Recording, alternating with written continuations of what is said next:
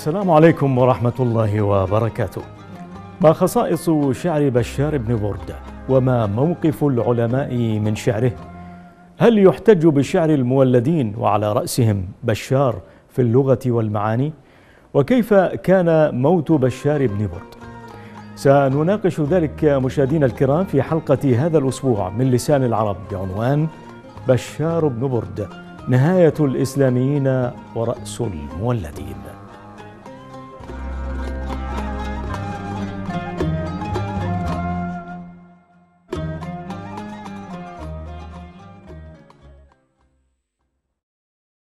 أهلا بكم من جديد مشاهدينا الكرام في لسان العرب وموضوعنا هذا الأسبوع بعنوان بشار بن برد نهاية الإسلاميين ورأس المولدين. نرحب مشاهدينا الكرام بضيفنا دكتور حمدي بخيت أستاذ اللغة العربية في جامعة جيرسون التركية حياكم الله دكتور. الله وبياكم أهلا وسهلا. مرحبا. ونرحب أيضا بضيفنا عبر الأقمار الصناعية من إسطنبول دكتور إسلام ماهر عمارة أستاذ الأدب والنقد في جامعة اولوداغ التركية. مرحبا بكم دكتور إسلام. مرحبا بكم. أهلا حياكم وسهلا. الله. أهلا وسهلا. اذا نبدأ آه، دكتور آه، حمدي من هو بشار بن برد؟ الحمد لله رب العالمين والصلاة والسلام على أشرف المرسلين سيدنا محمد وعلى آله وأصحابه والتابعين لهم بإحسان إلى يوم الدين. وبعد بشار هو بشار بن برد ابن ابن بهمن. آه والده برد وهو لقب له وليس اسما. لقب. نعم. لأنه سبي في الجاهلية آه، وكان العبيد يلقبون ببرد فلا يعرف اسمه على التحديد. وبشار ولد سنة 96 من الهجرة على التقريب آه، على اختلاف في الروايات لكن ربما هذه هي الرواية الراجحة. نعم. وتربى في بني عقيل وولد أعمى. وقيل قيل إنه آه، أصيب بالجدري وصار أعمى بعد ذلك. ويرجحون هذه الرواية على أنه كان يصف الأشياء وصفا دقيقا كأنه كان مبصرا. نعم. له صفاته ال- الخاصه بخلقته وصفاته الخاصه بخلقه. بالنسبة للخلقة كان ضخما طويل القامة جاحظ العينين قبيح الخلقة أعمى. وهذا بالنسبة لل- للجثة. بالنسبة صفا بالنسبة لصفاته في إلقاء الشعر كانت له صفاته الخاصة في إلقاء الشعر. يصفق بكلتا يديه ثم يتنحنح ويبصق عن يمينه وعن شماله ويقول الشعر ويقول قصيدته. طريقة غريبة.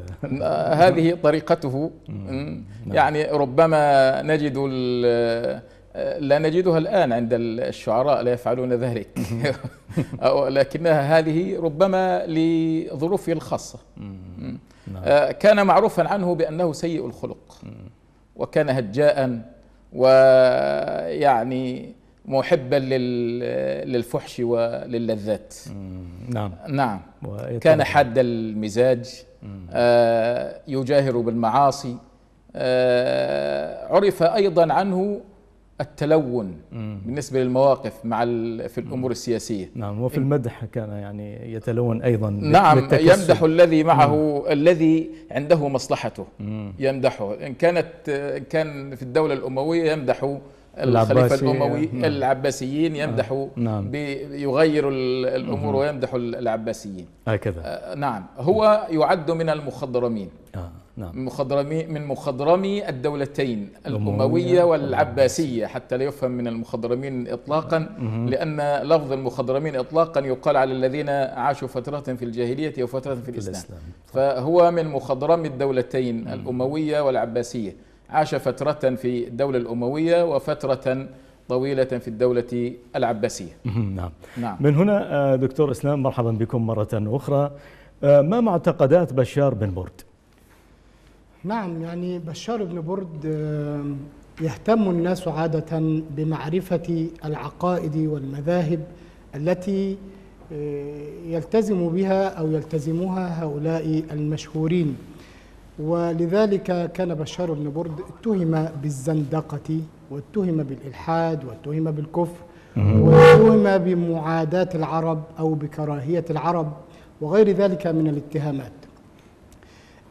مما يلحظ أن بشار أن بشارا كان يعني لديه نزعة في حب يعني ميراث أجداده من العجم وكان يمتدحهم. ويعني تروى قصة كانت بينه وبين واصل بن عطاء وكان هو يحضر دروس واصل في البصرة. وكانت هذه الدروس يعني لمناقشات تدور بين الدهرية وبين المجوسية. وكان بشار يناقشهم ويحاورهم ويحضر في هذه المجالس بشار. ولكن خلافا نشب بين بشار وبين واصل بن عطاء. كان هذا الخلاف مرده إلى أنهم يؤمنون بأفعال الإنسان وأعلن بشار يعني تمرده وعصيانه ومعارضته لأنه لا يؤمن إلا بالمحسوس مما أدى إلى طرده من البصرة. ولكنه كان أيضا حريصا أشد الحرص على أن يظل متمسكا بميراث أجداده العجم. فدائما كان يقول الأرض مظلمة والنار مشرقة والنار معبودة مذ كانت النار. هذا رجل لم يعرف إلا العربية ولم يتربى إلا في وسط العرب ولم يتقلب إلا في أحضان هذه العربية. ورغم ذلك هو دائما يفخر بعقيدة أجداده الذين كانوا في السابق. ثم إنه يعني له أبيات أخرى يتحدث فيها بشيء من الاستهزاء والمجون. ومثلا يقول إبليس خير من أبيكم آدم فتنبهوا يا معشر الفجار إبليس من نار وآدم طينة والأرض لا تسمو سمو النار. ثم إنه أيضا يعني كان رغم حرصه على الصيام واهتمامه بشعائر الإسلام إلا أنه كان كثير الاستهزاء. فمن استهزائه مثلا يقول بعض الأبيات وكأنه ينعى فيها أنه قد نحل جسمه وجسده من أثر الصيام فيقول قل لشهر الصيام أنحلت جسمي إن ميقاتنا طلوع الهلال. اجهد الآن كل جهدك فينا سترى ما يكون في شوال إذا كان بشار حريصا أن يلتزم أيضا. هذا هذان البيتان يدلان على أنه كان حريصا على الاهتمام بالصيام والصلاة وغير ذلك من شعائر الإسلام. لكن مما يلحظ أنه كان أيضا له أبيات أخرى فيقول هل من رسول مخبر عني جميع العرب من كان حيا منهم ومن ثوى في الترب جد الذي أسمو به كسرى وساسان أبي وقيصر خالي وقيصر خالي إذا ما عددت يوم النسب كم لي وكم لي من أب بتاجه معتصب يسعى الهبانيق له بآنيات الذهب لم يسق أقطاب سقا يشربها في العلب ولا حدا قط أبي خلف بعير أجربي. دكتور إسلام أه تسمعني؟ أه نعم. عندما أقاطعك نعم. نحاول أن نختصر أيضا حتى دكتور حمدي نحاول أن نختصر. دكتور حمدي ما خصائص شعر بشار بن برد بشار بن برد كان في نهاية الدولة الأموية وبداية الدولة العباسية فعاش بين أو في فترة مزدهرة خاصة في فترة الدولة العباسية. فلذا استطاع أن يمزج بين الأمرين وأن يهضم الحضارة الجديدة ويصوغ ذلك في شعره صياغة سهلة قريبة من الناس. وهذا الاستيعاب يعني جعله يقرب المعاني ويقرب ويجعل الألفاظ مفهومة لسامعيه. برع أيضا بشار في التصوير الفني حتى إنه كان يصف الأشياء كأنه مبصر. من كان يفضل البحور القصيرة على البحور الطويلة ومع الحفاظ على البنية الشكلية القصيدة. تميز بذلك. نعم. نعم. يعني حافظ على البنية الشكلية القصيدة ولم يغير فيها كما غير أبو نواس أو أبو أو غيره أو أبو تمام في موضوع النظام العمودي الشعري. قصائده الغزلية حسية فاضحة. نعم. آه الهجاء في أشعاره كان واضحا. ولذلك تحاشاه الناس وابتعدوا عنه وكان لذلك أثره الكبير على أصدقائه وغيرهم. نعم. نعم. هكذا. اذا آه، دكتور إسلام لو تذكر لنا أمثلة يعني باختصار لو تفضلت عن شعر بشار في آه، مختلف الأغراض. نعم. يعني بشار كان آه، له شعر غزير وكان فصيحا ذرب اللسان قوي البيان وله أشعار كثيرة وهو عد لنفسه أن له اثني عشر ألف قصيدة. يعني من هذه القصائد مثلا يقول أخوك الذي إن ربته قال إنما أربت وإن عاتبته لأن جانبه إذا كنت في كل الأمور معاتبا صديقك لم تلق الذي لا تعاتبه. فعش واحدا أوصل أخاك فإنه مقارف ذنب مرة ومجانبه. إذا أنت لم تشرب مرارا على القذى ظمئت وأي الناس تصفو مشاربه. ثم يقول يعني من ضمن ما يقول ومن ذا الذي ترضى سجاياه كلها ومن ذا الذي ترضى سجاياه كلها كفى المرء نبلا أن تعد معايبه. ثم يهدي بيتين وبيتا مهما لربما هو يعني يصلح أن يكون لشعوبنا العربية التي ترزح تحت نير الطغاة الظالمين. يقول إذا إذا الملك الجبار صعر خده مشينا إليه بالسيوف نعاتبه. وكنا إذا دب العدو وكنا إذا دب العدو لسخطنا وراقبنا في ظاهر لا نراقبه ركبنا له جهرا بكل مثقف وأبيض تستسقى تستسقي الدماء مضاربه وجيش كجنح الليل يزحف بالحصى وبالشوك والخطي حمر ثعالبه كأن مثار النقع فوق رؤوسنا وأسيافنا ليل تهاوى كواكبه. وله أيضا أبيات أخرى في الفخر نعم. يقول أنا ابن ملوك الأعجمين تقطعت علي ولي في العامرين عماد وقال عن نفسه وهو الملقب بالمرعث. يقول أنا المرعث لا أخفى, لا أخفى على أحد. وفي الغزل يقول مثلا من حبها أتمنى ألا يلاقيني من نحو بلدتها ناع فينعاها كيما أقول فراق لا لقاء له وتضمر النفس يأسا ثم يسلاها.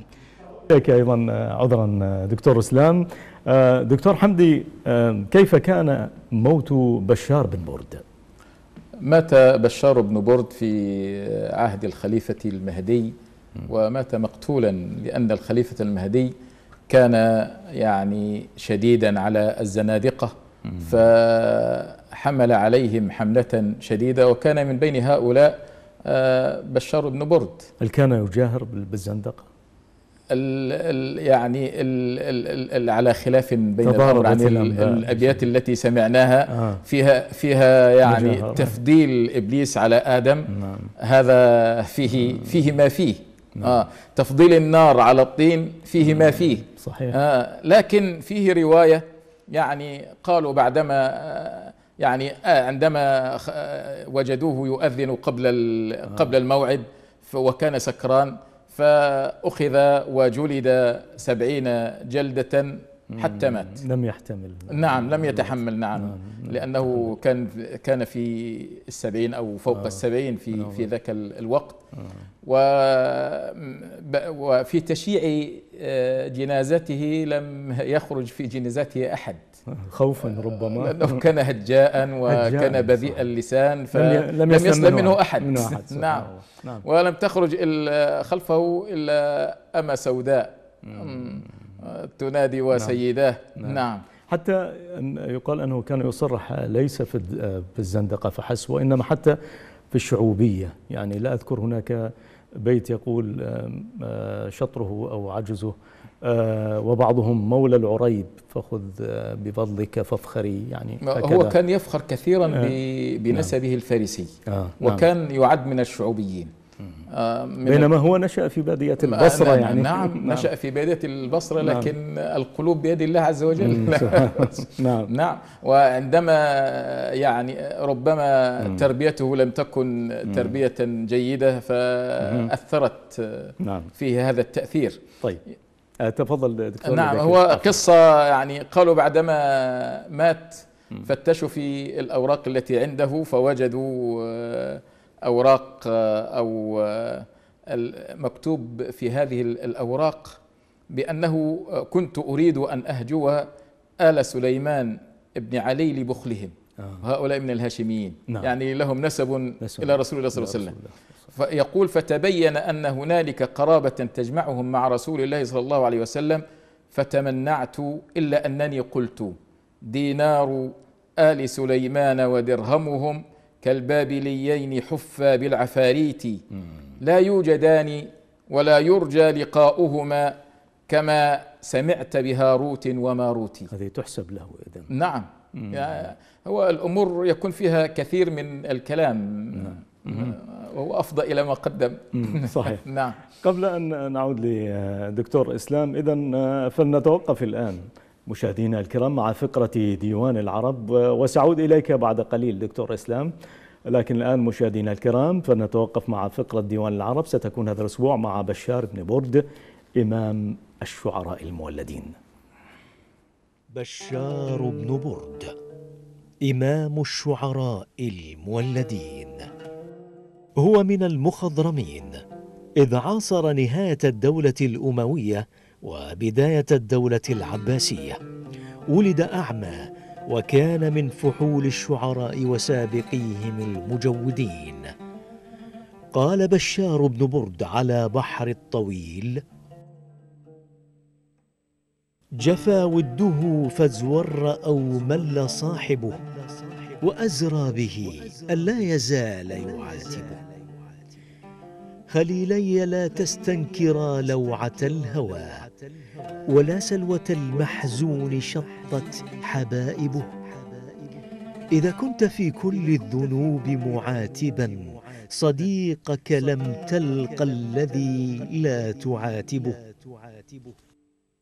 فعش واحدا أوصل أخاك فإنه مقارف ذنب مرة ومجانبه. إذا أنت لم تشرب مرارا على القذى ظمئت. وأي الناس تصفو مشاربه؟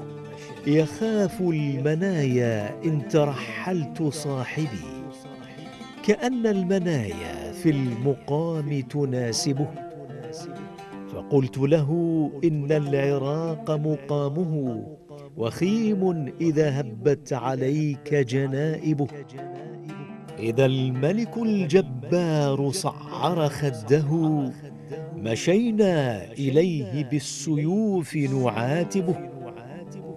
وكنا إذا دب العدو لسخطنا وراقبنا في ظاهر لا نراقبه. ركبنا له جهرا بكل مثقف وأبيض تستسقي الدماء مضاربه. وجيش كجنح الليل يرجف بالحصى وبالشول والخطي حمر ثعالبه. غدونا له والشمس في خدر أمها تطالعنا والطل لم يجر ذائبه. كأن مثار النقع فوق رؤوسهم وأسيافنا ليل تهاوى كواكبه. بعثنا لهم موت الفجاءة إننا بنو الملك خفاق علينا سبائب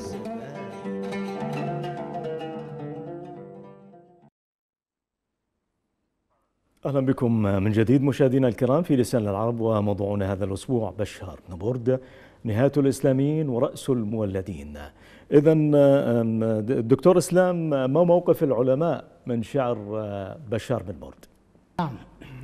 موقف العلماء يعني كان مثلا الأصمعي كان يحب شعر بشار ويقدمه ويذكر في كتابه فحولة الشعراء ما نقله بعد ذلك الأصبهاني في أغانيه أبي الفرج يقول يعني بشار هو خاتمة الشعراء وهذه المقولة ذكرها في فحولة الشعراء وذكرها صاحب الأغاني أيضا يقول بشار خاتمة الشعراء ولولا أن أيامه تأخرت لفضلته على كثير منهم وكذلك كان الأصمعي لما سأله أبو حاتم عن شعر بشار كان دائما يفضله حتى إنه لا يفضله على شعر مروان بن أبي حفصة ويرى أن شعر بشار قد سلك في شعره مسالك ودروبا مختلفة. أما مروان فقد اقتصر على أودية بعينها عبدها كثرة الطراق وسلكها غيره قبله وبعده. أما بشار فقد سلك سبيلا وتفرد هو فيه وكان أكثر تصرفا في فنون الشعر وأفانين القول وهو أغزر وأكثر بديعا من مروان ومن غيرهم. الأصمعي كان دائما يقارن بينهما حتى إنه لا يرى أنه يلحق بشارا بالأعشى والنابغة ويقول بشار كالأعشى والنابغة ومروان هو كالحطيئة كزهير والحطيئة وبشار أشعر من مروان. والجاحظ أيضا رأينا أنه كان يفضل ويستشهد كثيرا في علم المعاني بشعر بشار ويرى أن هذا الشعر خليق بأن يؤدي دورا مهما خصوصا في علم المعاني. ثم إنه لا يذكر كذلك أنه يفضل بيته الشعري الذي يقول فيه كأن مثار النقع فوق رؤوسنا يفضله على كثير من الشعراء الجاهليين الذين يعني فعلوا أو شبهوا شيئين بشيئين. كذلك يعني هناك بعض الأمور الأخرى الذي قالها مثلا عمرو أبو عمرو بن العلاء وهو يقول من أبدع الناس؟ لما سئل من أبدع الناس؟ فقال الذي يقول لم يطل ليلي ولكن لم أنم ونفى عني الكرى طيف ألم روحي عني قليلا واعلمي أنني عبد من لحم ودم. قال فمن أمدح الناس؟ قيل فمن أمدح الناس؟ فقال الذي يقول لمست بكفي كفه أبتغي الغنى ولم أدر أن الجود من كفه يعدي. فلا أنا منه ما أفاد ذو الغنى أفدت وأعداني فأتلفت ما عندي. انظر إلى هذا التركيب الجميل وهذا الذي يقوله يعني هذه الأبيات الأربعة هي كلها لبشار وبهذا أو هذه شهادة من أبي عمرو بن العلاء لجودة شعر بشار. آه نعم. آه ربما هذه عبدة دكتور حمدي أعتقد جارية كان آه يتغزل بها بشار. نعم. قبل أن أسألك أيضا أن ذكر الدكتور إسلام يعني قول الأصمعي وخصوصا في بيت كأن مثار النقع فوق رؤوسنا وأسيافنا ليل تهاوى. نعم. كواكبه. يعني هذا البيت الدكتور حمدي يحمل صورا كبيرة كأنك تسمعه من مثلا عمرو بن كلثوم من شاعر جاهلي. نعم. كيف كيف تقيم بشار كما تفضل قبل قليل الدكتور إسلام؟ في الحقيقة بشار مثار جدل كبير. نعم. ولذا جعل كثيرا من العلماء بعد ذلك يحتجون بشعره حتى في اللغة والنحو. يعني إن كان في, في الأول نعم. يعني أخرجوه من دائرة الاحتجاج لكن وجدنا, وجدنا الجرجاني وهو من هو؟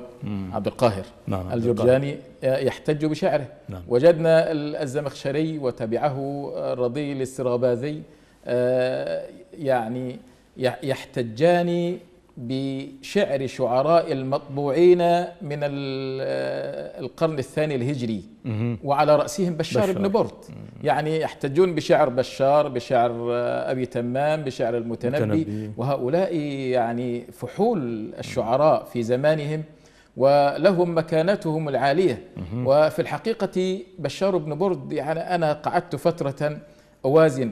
كيف بعلمائنا القدماء يمنعون الاستشهاد بأقوال بشار بن برد مع أنهم يحتجون بشعر إبراهيم بن هرمة بشار بن برد يعني ولد 96 توفي 168 آه إبراهيم بن هرمة قالوا في الرأي الراجح توفي 176 لا لماذا يحتجون بهذا ولا يحتجون بهذا؟ صحيح. أمر هل كان موضوع الأخلاق لها دورها يعني أمر أنا إلى الآن في حيرة حقيقة من هذا الأمر. صحيح. لكن لكنهم لكنهما يعني كانا متعاصرين. نعم. يعني هذا عاش فترة في الدولة الأموية وفترة في الدولة صحيح. العباسية. وهذا عاش فترة في الدولة الأموية وفترة في الدولة العباسية. ولكن لا يقارن. إلا أن إبراهيم بن هرمة يعني قيل بأنه ولد سنة سبعين أو سنة ثمانين أو سنة تسعين آه. على اختلاف في, الروايات. نعم. يعني آه، أسن من بشار. نعم. لكنه عاش فترة طويلة صحيح. إلى زمان الخليفة هارون الرشيد. يعني ولذا قالوا في الرأي الراجح توفي 176 ويحتجون بشعر. بشعر، ويقولون هو آخر الحجج. كيف يكون هو آخر الحجج؟ وبشار المعاصر له الذي توفي قبله, قبله، نعم. لا يحتج بشعره نعم.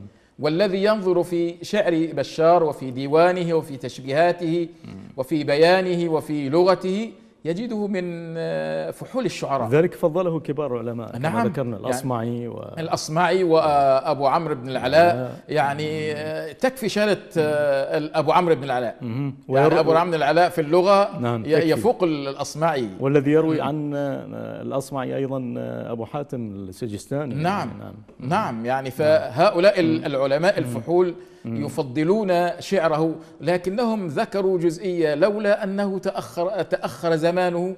تأخر زمن إبراهيم بن هرمة تأخر صحيح. زمانه. صح. صحيح. نعم. فعلا. ولذا الذين احتجوا إلى نهاية ال- القرن الثاني الهجري في الأمصار والذي سنقوله بعد ذلك نعم. آه، رأي مجمع اللغة العربية كانوا محقين لهذا. طيب.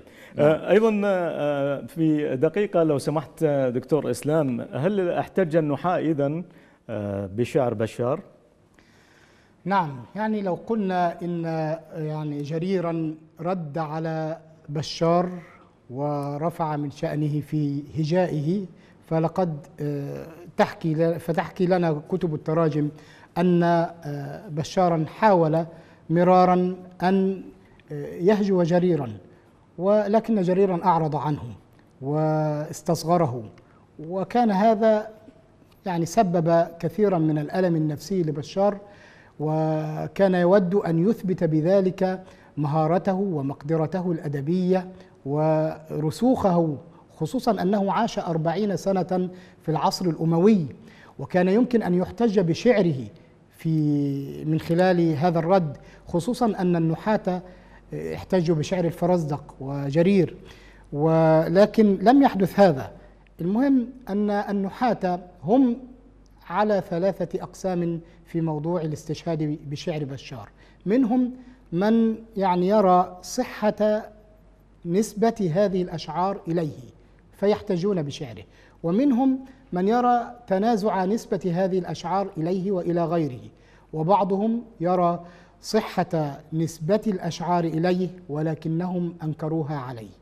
اذا دكتور حمدي ما موقف مجمع اللغة العربية المصري من الاحتجاج بشعر شعراء النصف الثاني من القرن الثاني الهجري؟ ال- العلماء قسموا قبل الحديث عن رأي مجمع اللغة العربية. أذكر المشاهد الكريم بأن العلماء قسموا الشعراء إلى طبقات طبقة الجاهليين وطبقة المخضرمين الذين عاشوا فترة في الجاهلية وفترة في الإسلام وهاتان الطبقتان يحتج بشعر شعرائهما. آه، طبقة الإسلاميين وهذه الطبقة معظم العلماء يحتجون بشعر شعرائها إلا أن أبا عمرو بن العلاء وكان لا يحتج بشعر آه، الجرير والفرزدق ويقول لقد حسن شعر هذا المولد حتى هممت أن آمر صبياني برواية شعره.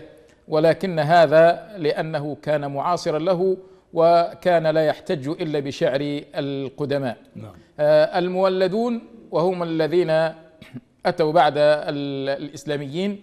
آه، معظم العلماء لا يحتجون بشعرهم. وخالفهم في ذلك أبو تمام وتبعه رضي الدين الاسترابادي. احتج بشعر آه، أبي تمام الزمخشري. وتبعه رضي الاسترا- الاسترابادي. احتج بشعر أبي تمام وأحتج ال- الجرجاني بشعر بشار وأحتج بشعر المطبوعين أمثال ال- المتنبي والبحتري وأبي تمام. نعم. أما مجمع اللغة العربية فإن ال- ال- العلماء السابقين كانوا قد وضعوا للأمصار حدا للش... للاحتجاج بالشعر وهو منتصف القرن الثاني الهجري مجمع اللغة العربية جعله إلى آه، نهاية ال- القرن. الثاني الهجري في الأمصار. في الأمصار. آه أما في غير الأمصار في البوادي في ال- إلى نهاية القرن الرابع الهجري. لكن في جزئية بالنسبة لسيبويه. هل سيبويه احتج بشعر بشار؟ ما ورد في آه، كتاب سيبويه من شطر شعري وهو البيت الشعري وما كل ذي لب بمؤتيك نصحه وما كل مؤت نصحه بلبيب. نعم. والشطر الثاني الذي ورد في آه، ورد في الكتاب الشطر الأول دون الثاني. وهذا الشطر في الأصل هو لأبي الأسود الدؤلي.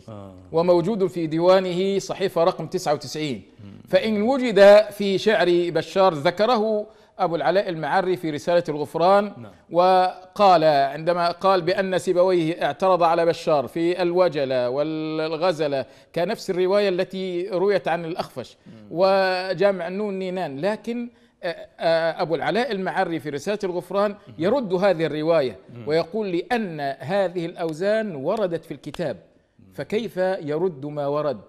وكذلك نقول بأن الأخفش وهو الأخفش الأوسط نعم. هو راوي الكتاب. نعم. فكيف تخفى عليه آه، أمور هي موجودة في الكتاب. صحيح فالرواية فيها كلام.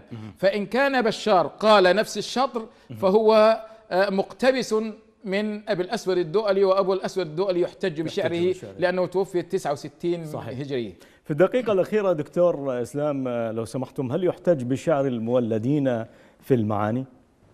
نعم. يعني قولا واحدا نعم لأن هناك يعني نحن ذكرنا فيما سبق أن الجاحظة قد استشهد بأشعار لبشار وذكرها وكذلك عبد القاهر الجرجاني ذكر واستشهد بأشعار له وهناك آه، أمر متعلق رواه الأئمة عن الأندلسي في شرح بديعة رفيقه ابن جابر الذي قال علوم الأدب ستة اللغة والنحو والصرف والمعاني والبيان والبديع. وقال إن الثلاثة الأول لا يستشهد عليها إلا بكلام العرب نظما ونثرا لأن المعتبر في ذلك هو ضبط الألفاظ. والثلاثة ال- ال- ال- الثلاثة التي بعدهما وهي البيان والمعاني والبديع فيمكن أن يستشهد فيه فيها بكلام العرب وكلام غيرهم. لأن الأمر هنا متعلق بالعقل. ولذلك قبل من أهل هذا الفن أن يستشهد بأشعار أبي تمام والبحتري وأبي الطيب وأبي العلاء وبشار وغيرهم. وهذا مذكور في شرح عقود آه، الجمان وفي الخزانة. ما ذكره الأندلسي آه، قد استفاض عن أئمة هذا الشأن المتقدمين منهم والمتأخرين. في ختام آه، فقرة موضوع حلقتنا. نشكر ضيفنا عبر الأقمار الصناعية من إسطنبول الدكتور إسلام ماهر عمارة أستاذ الأدب والنقد في جامعة أولوغ التركية. حياكم الله. شكرا جزيلا لكم دكتور. شكرا لكم. شكرا. أهلا بكم. أما الآن مشاهدينا الكرام فنبقى مع فقرة من الذاكرة ومشهد يخص بشار بن برد.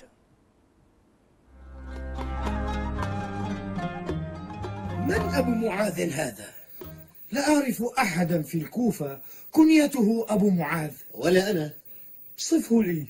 ضخم الجثة. نعم. طويل. مم. كثيف ومشدور الوجه. آه. هذه صفات بشار بن برد. وبشار كنيته أبو معاذ. لكن بشارا في البصرة. ما الذي جاء به إلى الكوفة في هذه الساعة؟ إذا كان هو فالأفضل أن نستقبله على باب الدار تكريما له. هيا. حسنا تعال يا عطاء.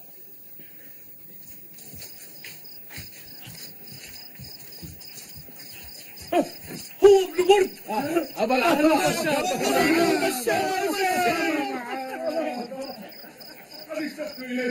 بشار بن برد ظهر الفساد في البر والبحر. أهلا بك يا بشار. أية ريح طيبة جاءت بك إلينا من البصرة يا بشار؟ بل قل أية ريح خبيثة. صدقت يا أبا دلالة صدقت. هي ريح خبيثة حقا. فالسياسة وألاعيبها أخبث ريح تفسد علينا حياتنا نحن الشعراء. لا تقل إنك ورطت نفسك في مكائدها. ليس منها مفر يا أبا زيد. ليس منها مفر. فإن لم نورط أنفسنا فيها جرتنا هي رغما عنا. عين الحق والله. فأنا لا شأن لي بالسياسة. ومع هذا أبعدتني مدائحي في بني أمية عن مجلس المنصور. وهذا ما جاء بي من البصرة. ماذا تعني يا أبا معاذ؟ أنا مولى كما تعلمون. واتهمت بأنني من أتباع أبي مسلم. أما وقد وقعت الجفوة بين أبي مسلم والمنصور فقد رأيت أن أتجنب خطأك يا أبا العطاء. وكيف؟ علمت أن أبا مسلم قد جاء إلى الكوفة. فقلت في نفسي هو لم يذهب عبثا. فلا بد أن الصراع بينه وبين المنصور قد بلغ ذروته. فأسرعت للمنصور تمدحه قبل أن تسفر العداوة بينهما. ألست على حق. هذا عين الحق.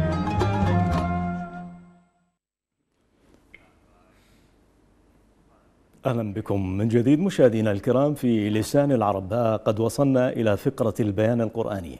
عنوانها هذا الأسبوع من المتشابه اللفظي في سورة البقرة الجزء الثاني. نبدأ بعد هذا الفاصل.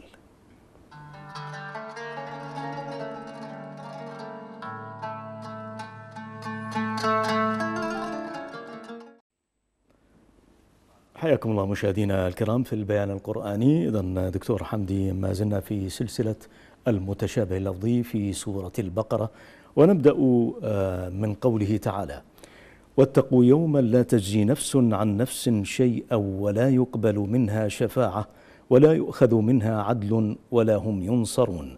هذا في البقرة. وفي قوله تعالى واتقوا يوما لا تجزي نفس عن نفس شيئا ولا يقبل منها عدل ولا تنفعها شفاعة ولا هم ينصرون. في البقرة أيضا. آه، ما الحكمة دكتور هنا من آه، تقديم الشفاعة في الآية الأولى آية 48 آه، 48 في البقرة وتأخيرها في الآية الثانية آه، 23 بعد المئة. ال- العلماء في ذلك لهم عدة اتجاهات. نأخذ الرأي الذي يتناسب وهذا الموقف. آه، قالوا بأن ال- الضمير في الآية الأولى يرجع إلى النفس الأولى. اللي هي الشافعة. واتقوا يوما لا تجزي نفس عن نفس شيئا. والذي يشفع يقدم الشفاعة على العدل الفدية. والضمير في الآية الثانية يرجع إلى النفس الثانية. اللي هو اللي هي صاحبة الجرم. آه وصاحب الجرم آه لا يقدم ال- الفدية فدية على على. الشفاعة. لأنه لا لا ليس له شافع. أو نفسه لا تكون شافعة لنفسه. سبحان آه هذا يعني أقرب وأيسر الأمور للمشاهد الكريم. نعم. أيضا دكتور آه، في قوله تعالى وإذ نجيناكم من آل فرعون يسومونكم سوء العذاب يذبحون أبناءكم ويستحيون نساءكم. في البقرة الآية 49 وفي سورة الأعراف وإذ أنجيناكم من آل فرعون يسومونكم سوء العذاب يقتلون أبناءكم ويستحيون نساءكم. آه، في الآية 41 بعد المئة. يعني القضية هنا دكتور في السورتين واحدة. ولكن لماذا ورد في سورة البقرة نجيناكم بالتضعيف أو التجديد وفي الأعراف أنجيناكم آه، بالهمز لا التضعيف؟ نعم. في سورة البقرة ال- ال- ال- الموضع أو السياق العام السابق لهذه الآية سياق تعداد نعم. وتعداد النعم يحتاج يناسبه التضعيف. نجيناكم. نجيناكم. نعم. وبعدها يذبحون أيضا بالتضعيف. بالتضعيف. آه، أما في سورة آه، الأعراف فليس فيه تعداد نعم. للنعم. فلذا أتت بأنجيناكم. أنجيناكم. التعدية في البقرة بالتضعيف والتعدية في ال- الأعراف بالهمزة. مهم. في نعم. سورة الأعراف أيضا آه، يقتلون. نعم. أيضا. في في في عندنا في يذبحون يذبحون في نعم. في ال- في البقرة. ي- يقتلون في الأعراف. مهم. نعم. ال- تعداد النعم تعداد النعم لابد أن يبين لهم ال- النعمة الكبيرة المناسبة. التذبيح آه، توضيح معنى القتل. القتل إزهاق الروح. ممكن يكون القتل بضرب على الرأس أو ب- بالخنق أو بأي شيء. نعم. لكن التذبيح فيه شدة فيه فظاعة. صحيح. فلتبيين النعمة التي أنعم الله بها على بني إسرائيل بأن نجاهم من التذبيح. من التذبيح. استخدم آه، يذبحون. يذبحون لتتناسب مع تعداد النعم. نعم. ثم إن يذبحون يقتلون بدون واو. بدون واو. نعم ال- الواو العاطفة غير موجودة. بينما في آه، سورة في في سورة إبراهيم ويذبحون. يذبحون نعم. هنا في ال في ال يعني ما. دلالة حرف العطف هنا؟ ما دلالة حرف العطف في سورة إبراهيم؟ نعم. يعني جاء يسومونكم سوء العذاب ويذبحون. يعني اولا ال- بغير الواو بدل. بدل. نعم. آه، أما بال- بالواو ويذبحون ال- في سورة ال- البقرة وسورة الأعراف من كلام الله تعالى فلم يعدد المحن عليهم. سبحان الله. نعم. أما في آه، سورة إبراهيم من كلام موسى عليه السلام فعدد المحن عليهم وكان مأمورا بذلك. وذكرهم بأيام الله. أها. يعني هذا السياق على لسان سيدنا آه، موسى. في إبراهيم على لسان آه، سيدنا آه، موسى. في سورة إبراهيم. نعم. فلازم يعدد المحن عليهم لأن الله عز وجل أمره بهذا ليس من نفسه. نعم. آه وذكرهم بأيام الله. مم. فجاء آه، بالعطف. فجاء بالعطف لأنه تعداد محن. أما في البقرة والأعراف كلام الله عز وجل والله عز وجل لا يريد أن يعدد المحن عليهم.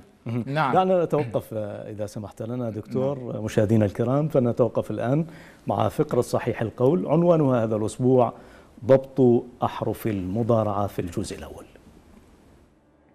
ضبط أحرف المضارعة. أحرف المضارعة هي الأحرف الأربعة التي يبدأ بها الفعل المضارع والتي يجمعها قولنا نأتي. وهذه الأحرف تضبط بالفتح إذا كان الفعل ثلاثيا مجردا. وبالضم إذا كان ثلاثيا مزيدا بالهمزة. فإذا خلط المتكلم بين النوعين أدى ذلك إلى خلط في ضبط أحرف المضارعة. أمثلة من الفعل الثلاثي المجرد.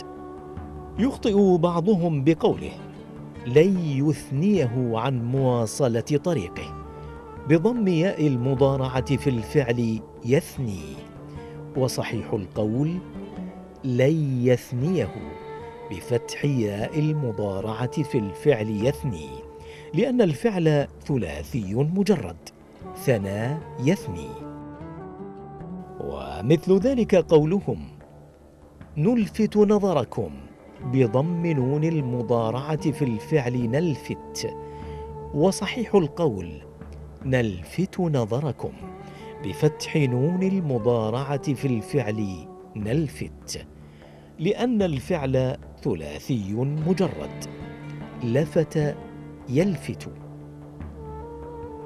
ونحو قولهم سيزيد الأمور سوءا بضم ياء المضارعة في الفعل يزيد. وصحيح القول سيزيد بفتح ياء المضارعة في الفعل يزيد لأن الفعل ثلاثي مجرد زاد يزيد. أهلا بكم من جديد مشاهدينا الكرام في لسان العربي وما زلنا في فقرة البيان القرآني ونذكر بموضوعها هذا الأسبوع من المتشابه اللفظي في سورة البقرة الجزء الثاني. آه، دكتور وصلنا إلى قوله تعالى ولكن كانوا أنفسهم يظلمون في البقرة. بينما في الأعراف آه، الأعراف. وفي الأعراف أيضا في نفس ال- السياق. ولكن في آل عمران دكتور ولكن أنفسهم يظلمون ما الحكمة في ذكر كانوا هنا في البقرة وفي الأعراف بينما في آه، آل عمران عدم ذكرها؟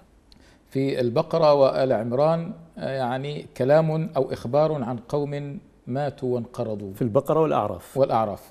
نعم. في البقرة والأعراف إخبار عن قوم ماتوا وانقرضوا.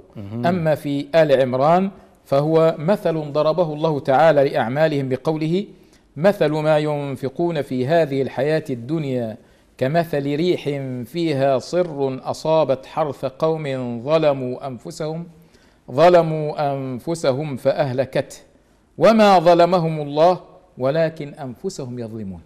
ولذلك لم تأتي كان يعني هي عامة ولكن في آه، مثل. مثل هنا نعم. عموم. ولكن مثل ما ينفقون في هذه الح- الحياة الدنيا. نعم. كمثل ريح فيها صر أصابت حرث قوم ظلموا أنفسهم فأهلكته.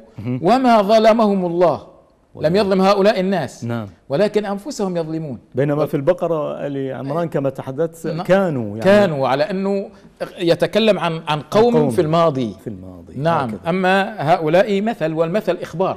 هنا يتضح نعم. الفرق يعني. نعم. أيضا دكتور في قوله تعالى وإذ قلنا ادخلوا هذه القرية فكلوا, فكلوا منها حيث شئتم رغدا وادخلوا الباب سجدا نعم. وقولوا حطة نغفر لكم خطاياكم وسنزيد المحسنين. نعم. هذا في البقرة. في الأعراف وإذ قيل لهم اسكنوا هذه القرية وكلوا منها حيث شئتم وقولوا حطة وادخلوا الباب سجدا نغفر لكم خطيئاتكم سنزيد المحسنين. يعني كما تلونا دكتور آه، في البقرة وإذ قلنا ادخلوا بينما في الأعراف هنا وإذ قيل لهم اسكنوا. نعم. يعني المسألة الأولى أو يعني. نعم. أول شيء يعني ادخلوا في البقرة اسكنوا في الأعراف. والدخول يعني عام. يعني ممكن يدخل ويسكن ممكن. يدخل ولا يسكن. يعني آه. الدخول هنا أعم. أعم. آه بخلاف السكنة. السكنة دخول مع مع قرار. مع قرار نعم, واستقرار نعم. ولذا ال ال في الأعراف تبيين وتوضيح لما هو عام في البقرة. ولذلك عند تفسير القرآن الكريم وكذلك عند توضيح الأحكام لابد من استقراء كل الآيات التي في مجال واحد وفي في مكان واحد تؤتى بها من ال من ال من القرآن ككل ثم تفسر. فإن كانت في لفظة مجملة في مكان تكون مفصلة في مكان آخر أو مبينة في مكان آخر. وإن كانت آه، مطلقة في مكان تكون مقيدة في مكان آخر. ولا بد من الجمع بينهما. ولذلك آه، في مقولة آه، أقولها سريعا للإمام الشاطبي في في الاعتصام. يعني على الذين يأخذون آية أو نصا يسمى دليل ويحتجون به في قضية ما وهذا النص فيه نصوص أخرى. هذا النص ممكن من الممكن أن يكون عاما وفيه ما يخصصه أو مطلقا وفيه ما يقيده. يقيده. فقال يعني هذا كالذي يأخذ اليد وحدها ويطلب منها أن تتكلم. ال- اليد وحدها لا تتكلم. لازم يكون الإنسان كامل حتى يتكلم. صحيح. فالذي يأخذ آية أو حديثا بعيدا عن سياقه بعيدا عن ال- السياق القرآن ككل يعد كال كالآية الواحدة. آه فلا بد من جمع كل الآيات نعم. التي توضح التي ولذا التفسير لازم يجمع كل الأمور ولذا تفسير القرآن بالقرآن يكون القرآن اولا. فهذا اسكنوا توضيح للإجمال أو للعموم الموجود في البقرة. فادخلوا نعم. نعم. فكلوا دكتور في البقرة بينما في الأعراف وكلوا. نعم. ال- الدخول آه، يكون بعده الأكل. لا يكون معه لكن ساكن يأكل في أي في أي وقت. يعني الفاء تقتضي التعقيد. الت- الت- الترتيب مع التعقيب. مع التعقيب نعم. يعني يدخل اولا يستريح ثم يأكل. فكلوا. نعم. فكلوا. بينما وكلوا في و- في الأعراف. آه، وكلوا في في الأعراف. لأنه ساكن. ساكن. يأكل في أي وقت. آه، نعم هو يأكل- موجود نعم ساكن. لأنه مم. سا- مستقر. صحيح. لا, لا يحتاج إلى ترتيب. لا يحتاج إلى زمن. نعم. هو ولذا يقول لك متساوقة. نعم, متساوقان. الفعل مع ال- الحرف متساوق معه. نعم. آه، دكتور آه، سريعا نصف دقيقة تقريبا. يعني في البقرة أيضا رغد آه، ولم يأتي في سورة الأعراف رغد ال- في البقرة تعداد نعم. آه. آه وتعداد النعم لابد لابد أن يكون فيه آه زيادة. زائد في البقرة أيضا وإذ قلنا. نعم. من الله عز وجل. لكن في الأعراف وإذ قيل. نعم. فقلنا من عند الله عز وجل يا- لابد أن يكون فيه شيء يعني فيه شيء أكثر فيه شيء أعظم في شيء أفضل من ال- ال- الايه الأخرى. نعم. نعم. انتهى الوقت دكتور. إذا في ختام هذه الحلقة نشكر ضيفنا دكتور حمدي بخيت أستاذ اللغة العربية في جامعة قريسون التركية. شكرا جزيلا لكم أستاذنا. بارك الله فيك. وفيك ربي. يبارك. مسك الختام. مشاهدينا الكرام سيكون مع فقرة سيرة عالم. اخترنا لكم هذا الأسبوع أبا عمرو بن العلاء شيخ القراءات والعربية. نلقاكم الأسبوع المقبل بإذنه تعالى وحلقة جديدة من لسان العرب في رعاية الله. أبو عمرو بن العلاء شيخ القراءات والعربية. هو زبان بن العلاء التميمي المازني البصري اشتهر بكنيته أبو عمرو ولد بمكة ونشأ بالبصرة. كان لجلالته لا يسأل عن اسمه فهو من أشراف العرب ووجوهها. قرأ القرآن بمكة على سعيد بن جبير وعطاء بن أبي رباح وعبد الله بن كثير وغيرهم. وقرأ في المدينة على يزيد بن القعقاع وغيره. وقرأ بالبصرة على يحيى بن يعمر ونصر بن عاصم والحسن البصري وغيرهم.